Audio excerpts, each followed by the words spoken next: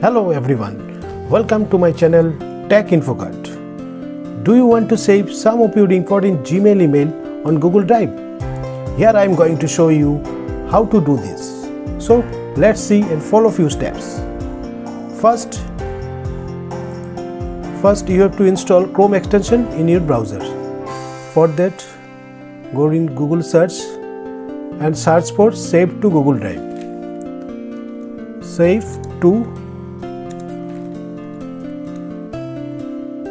Save to Google Drive. Then you can see Save to Google Drive. Click on click on this. Whatever comes first, click on this.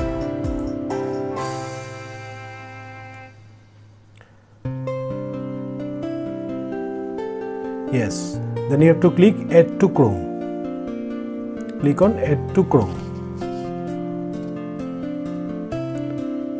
add save to google drive. So display notification you have to click on add extension. Click on add extension.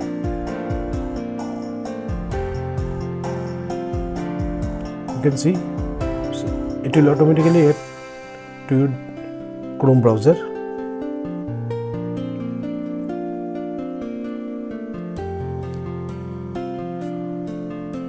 Adding to chrome it's showing adding to chrome it's done. You have to close this.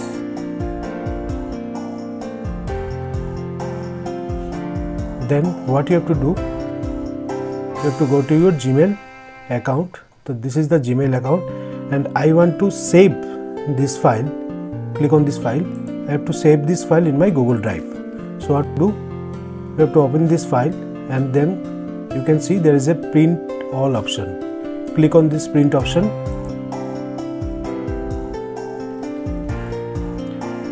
then you have to click on the destination. In destination you have to click on and click on save more. See more. Click on see more. Then from here you will find your google drive. Save to Google Drive. So click on it and then click on print.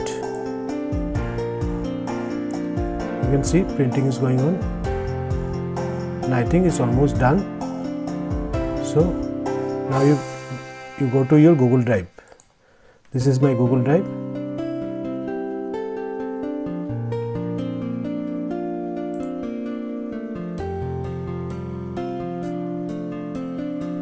yes from here you can find this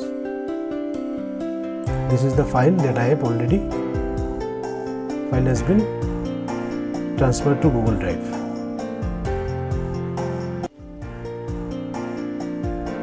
can double click on this file the file will be open so this is how you can save your any Gmail email to your Google Drive so this is very simple that's it. Always thanking you guys to watching this video. If you really like this, please do subscribe and share it with others. See you in my next tutorial.